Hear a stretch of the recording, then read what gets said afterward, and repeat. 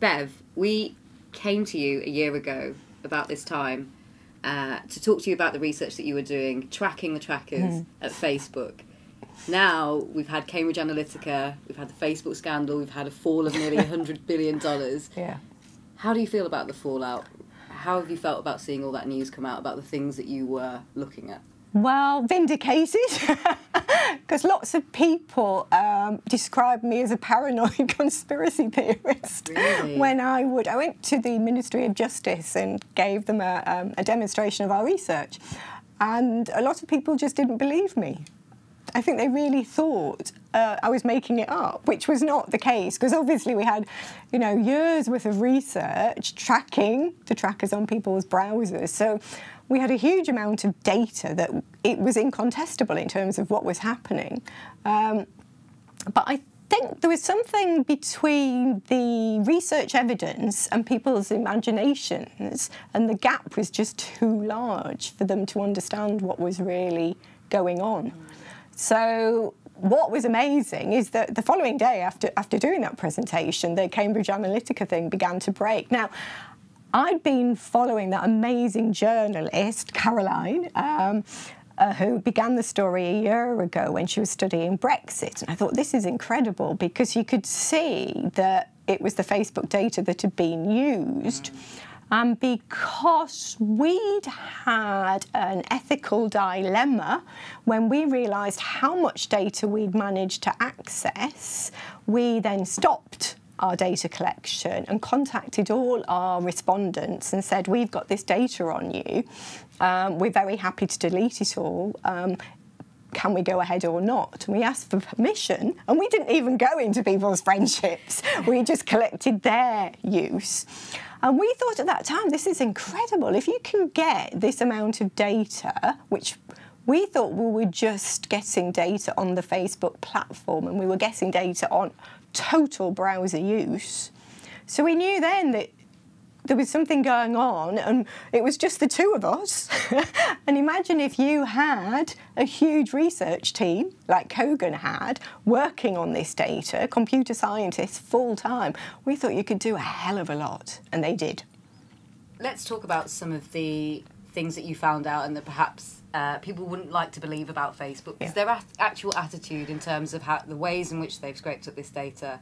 I mean, last time you talked about how they lied about being able to track people offline. Yeah. yeah. Can we talk about how some of the other things that they've broken, the things that, um, how do you think they've managed to keep that trust while clearly all the time? I mean, recently there was the biometric stuff. So mm. Facebook said, you can't stop us taking your biometric yeah. data.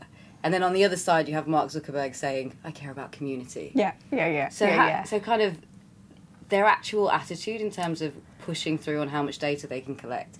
Can you talk a bit more about how they've possibly broken rules that we didn't know were there? Well, in, in the first place, they I think most um, digital companies, the big ones, the big monopolies as they are, um, work on the basis of take us on legally. It's a very different approach to legality. It's like take us on if you dare. Google, Google has hundreds of cases going on all, all the time. And basically, you have to have the money, the technology, and the, the power, basically, to take them on. So I think they don't really care. Uh, I think they basically think nobody can get to us and that's how they just i mean they are they are just like the old robber barons the monopolistic robber barons who just did whatever they wanted. And then maybe they'd introduce some safety regulations after they'd killed a few hundred people. So i think it's in that mode that they're so big they're so powerful governments depend on them for their surveillance. So they are kind of a, an office of the state in many respects particularly in the uk and in the us that they just really, really don't care. So I do think, I do think, and I'm not sure anymore, I did think Mark Zuckerberg really wanted to run for president. And so we saw him giving that data to the Stanford University computer scientists and economist people. And I thought that was to kind of map all the profiles of the US population. So therefore, he could work out in a more sophisticated way than even Obama did and Steve Bannon did how to target populations. So I still believe he really wanted to run for president. And I think all those vacuous speeches about community and caring and making things free for the world when basically they just want everybody's data um, was part of that political ambition. Um, I might be being cynical. Some people say that a lot of Silicon Valley people really do want to uh, do good things. But if they really wanted to do good things, they'd actually control the monopolistic intervention into people's lives in the most phenomenal way that we've ever seen. So it's kind of a very different form of caring to the one I would expect. What do you think about the fact that Mark Zuckerberg has refused to meet the DCMS, the Select Committee? I know. I know. it's just like, I mean, that didn't surprise me at all because why would he? It's a small country. Um, it doesn't really matter. We're not He's, that important. No, exactly, exactly. And we are the most deregulated data country more than the US even. So basically, they've got access to everything they want here. Um, so why should he bother? He doesn't need to persuade this government to kind of work for him. He's got everything he needs. And it he's working again. It's like, take us on if you can. We don't care. They are monopoly com companies. So the data brokers in the US refuse to appear before the Senate. Um, and they've got a lot of, in the US, they've got a lot of representation uh, with power. I mean, Peter Thiel, Facebook founder, Donald Trump's tech uh, advisor. So they've got a huge amount of uh, investment, uh, lobbying in government. Um, they've paid the HMRC significant amounts of money to advertise, so they don't pay tax. We know all about their tax dodging. So I think really, that why would they bother? Why would he take a transatlantic plane flight to turn up for something when he doesn't really care? When I was reading the FT a few months ago, I was seeing how, I mean, and you just talked about Mark Zuckerberg's mm. presidency. There's a lot of business press that mm. are very sycophantic about yeah. these tech guys. You saw that with some of the articles about Zuckerberg's yeah. presidency, but you also see it in the kind of um, wonder that they hold these yeah. companies in, yeah. uh, such as Amazon, such as Facebook, and the mm. GAFAM family, and all of those things. Do you think, uh, in that FT article, I saw them kind of um, suggesting that all these companies were getting away with no regulations at the moment? Mm. Do you think that bubble has burst now? Uh, one would hope so.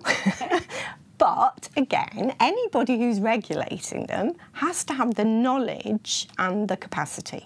And what we know from Snowden, what we know from WikiLeaks, is that there is nobody really controlling them, and there's not that many people who have the technical capacity to control them. So there's a lot of legal uh, data specialists in the US, but they can't keep pace because law takes a long time. Law is very deliberative and you can basically hold things up for an awful long while if you need to.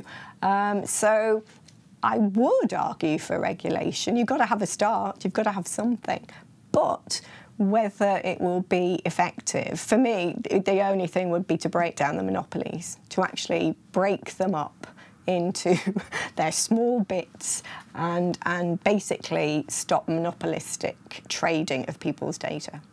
So, who's in charge? Whose responsibility is it in the UK at the moment to, um, to regulate them or to monitor them? Well, I, I, it's very, very dispersed. There isn't really any control over them as far as I can see from where I've been looking. Um, I haven't investigated the legal controls in the UK. Um, but I, I suspect there's very little interest. I mean, I've been astonished at how little political parties actually know about how they operate. So I was looking at kind of Labour's um, digital policy, and I, I, was just saddened by their lack of knowledge, really. Um, so I think you would need people with a huge amount of um, ability to regulate. And I mean, the huge problem with the government is they're using massive amounts of software. You know, there's a great point made by Morozov, which is the government uses private insurance companies to investigate um, data. Sorry, it uses uh, private data surveillance companies to investigate private data frauds. So, you know, the fraud office would be the obvious place to look, but who do they rely on to provide the, the data, to provide the evidence? So there's a huge problem, really, really huge problem. I mean, I'm hoping that people will become more aware, and a lot of people have actually stopped, done delete Facebook. Mm-hmm. I think it was 74,000 when I last looked. Now that's an action. That's a significant, it's not that many if you think about the billions, yeah. but it's a significant action because people have to deliberately do that. So I think it's quite important that we see that people are doing something. Because in our research, when we interviewed everybody after we collected all the data and we interviewed them about it, most people talked about a contract with the devil. They talked about it as it was, the language was extraordinary as a, um, a necessity, an evil necessity, um, um, and it was always about they were trapped. But I called it an ideology of convenience because it was an ideology that made people do things or not do things. And so what happened is most people thought, oh, well, I can't be bothered um, and I need this. And so they just didn't do anything. So it's kind of an ideology of inaction where people just go, oh, I'll accept this. So the fact that people have done something says to me that there is probably some political disenchantment and a hundred um, 100 billion, is it, that they lost off their stocks yeah, is yeah. really significant. It is. Really significant. So, you know, that's good. I mean, Joseph Turow in his books, he talked a lot about resignation, that people weren't yeah. active participants in their data being given away. They were just in a, a state of resignation because there was nothing they could do and they didn't really know how things were being used. You said you think it should be broken up. Yeah. Other people have suggested nationalisation. Yeah. Um, potentially maybe coming up with uh, a digital EPA, yeah. a, a, protection agency, yeah. some kind of regulator. Mm-hmm, mm-hmm. Do you still think that breaking them up is the best idea? And what do you think of those? I think you need all of them. you nationalise the bits after you've broken them up. Uh, you regulate the bits after you've broken them up because there are. That's that's why the legal thing's so difficult because there are lots of different. There's like the fraud. Um, there's the surveillance. There's the there's all sorts of aspects that they work on that need breaking up, and each part should be regulated. And of course, people should have data protection, but this is not really about individuals, I think. This is about corporate surveillance added to state surveillance, both of them working almost hand in hand, which we've never seen before you know, there used to be debates about what was the difference between state surveillance and, uh, you know, controls at work. But now we're seeing this incredible intermeshing of interests, and it just has to be taken apart. Do you think we have a problem with talking about regulation in this country? Because I still haven't seen that kind of mention, that yeah. push to the fore, even though we've had this big fallout that started, you know, with with uh, Carol in the UK. There's no mm-hmm. no one saying we need rules on these companies. Yeah. We need regulations. Is that because we're a deregulated country that, that the corporates have got away yeah. with doing it for so long. Yeah, and I, I do think it's almost again there's um, it's like the, the ancient historical tradition of free trade, which began with slavery, is still being reproduced all the time. That people should be free to operate, where in fact it means free to totally control other people's lives. So yes, I do think we've had deregulation has almost become common sense, and I think we really need to reinstitute it. But then I think a lot of people just think regulation, how, how will we ever achieve it? So there's a bit of a, a fatalism around how it is even possible and I think that's that's the issue. But we have to. I mean, I, I really would strongly argue that you know there's so many things need re-regulating, um, and it's we always know regulation is just a start, but you've got to have it in place before you can build on it. We've got we well GDPR is coming in in May. Yeah we potentially obviously leaving the EU at this time yeah. Um, yeah. might not be party to that, yeah. but it seems like a really, really important yeah. um, legislation. Definitely. Again, I've seen um, the way that they've talked about China, as we've seen the rise of the data giants in China. Obviously, they've got the social credit system. Um, I've seen kind of reports saying that Amazon is handicapped because they're not able to scrape data like China is, and they're going to come up against GDPR. Do you think it's a going to be an important piece of legislation? I think it's really important. I think the fact they've got this far is incredible. And the people I've spoken to in Europe who are involved in it are very, very optimistic.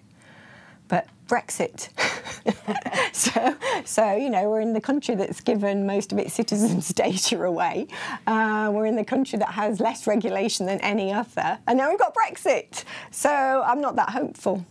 But I would, would really like a much, much more robust version of it to be introduced in the UK. Just as a last point, kind of in this section, you were talking about the meshing of these interests. Mm. I feel like it's important that we should mention Peter Thiel, because yeah. Uh, recently yeah. Bloomberg reported that he's that Palantir is moving into Europe more. Yeah. We have a, a government that's already reliant on Palantir's services.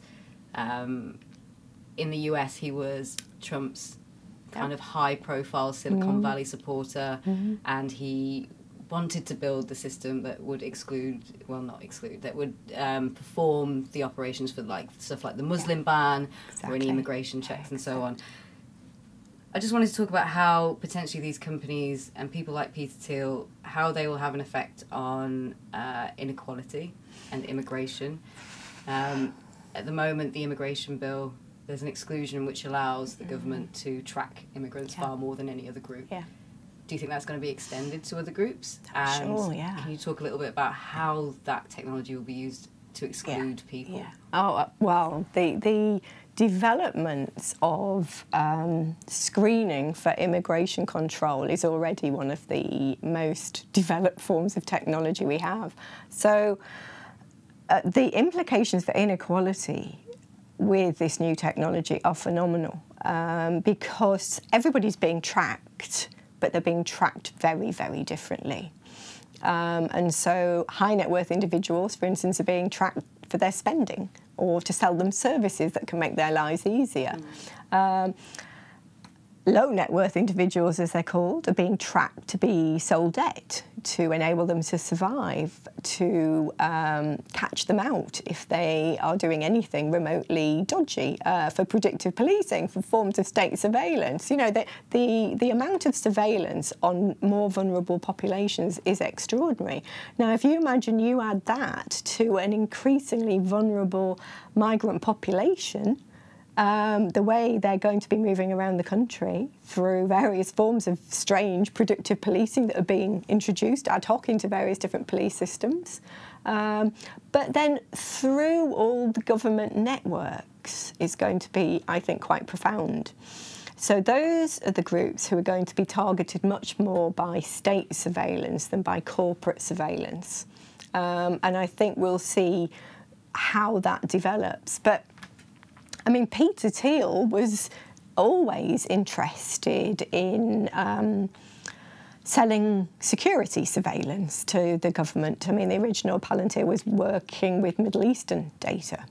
Um, so he's been developing this for some time. And the fact that he wants to move into Europe suggests to me he'll just sell a, a, billion dollar deal to track migrants of any kind. And because he has a lot of that historic data from the Middle East, they'll be tracked right from the start. So I think it's very, yeah, very, very worrying. And I think the more vulnerable a population, the more they're going to be subject to state surveillance and the high net worth uh, populations are going to be subject to corporate surveillance much more. So I think that's where we'll see the differences emerging in the technology. But I also think we need to add in Steve Bannon into this, you know, because he is a Peter Thiel, um, you know, Palantir providing security services for the state and Donald Trump um, you know, absolutely far right libertarian who, you know, didn't believe women should have the vote. So we know what sort of person he is. Steve Bannon, similarly, alt right, far right, um, you know, happens to be able to use uh, Christopher Wylie as a gay boy because he thinks it'll open new markets for him. But basically, if you track all of his political activities, they are horrifically racist. They, he's now moved into Italy and into France and is offering his supercomputer support to um, the fascist parties. So, you know, we've got these people are moving obviously, in any monopoly uh, drive, are moving into every form of surveillance they possibly can and are moving into any area, geopolitical area they can. But because they carry the history of surveillance, testing, experimentation, data, effectivity, they're going to be incredibly powerful, and they're the people we should be watching, I think. And I mean, with the SCL stuff and the links to Cambridge Analytica, there's also been this uncovering, I think, for the first time in the public eye of the military background of Exactly. Silicon Valley and Yeah. you know all these psyops and things. So Yeah. this feeling that that would be merging with Yeah. these figures Yeah. and that much power, Yeah. you know, hopefully is a call to action for people. Well, it should be a call to action, but you almost think, what would it take mm. for people to be called to action? Now, clearly, they're making a, a small step by deleting Facebook, and I know quite a few people have done that, and I think, you know, great. But the fact that the same people are also welcoming the preemptive devices into their homes, the Alexas and the, the, the Internet of Things, into their homes to watch them, to listen to them, to kind of collect every single piece of data on them in their intimate environment. It's kind of when are they going to be called to action?